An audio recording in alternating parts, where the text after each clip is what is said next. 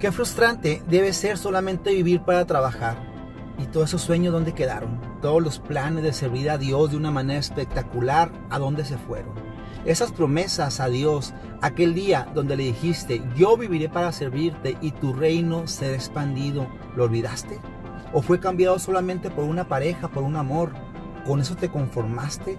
¿Con eso paraste tus sueños? Este, solamente me limitaré a trabajar a casa y dos horas a la iglesia. ¿Cuándo lo dijiste?